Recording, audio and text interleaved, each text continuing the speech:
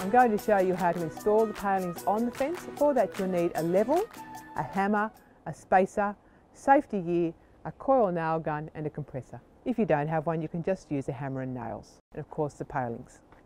When building the paling fence there's two different widths of timber. The wider one goes at the back, the narrow one goes on the front.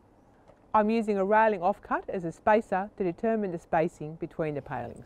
We'll just put the spacer in, butt the paling up against the spacer and I'll nail that off at the top, do the same at the bottom and then the middle. If you were starting your fence from scratch, you would line this paling up with the edge of your post. So I'll just continue along like that, using the spacer and running the palings a spacer width apart. What I'm going to do now is overlay with my narrower board. I'll place it on the plinth and I'll centre it with the existing boards. Same at the top and then I'll just nail it off. What we'll do now is we'll just take the level and we'll just do that for every few palings to make sure that they're straight. As you're nailing, just make sure that you keep an eye on your railing and that the nails are centred in the railing. We'll just now continue this process along the fence line until the fence is completed.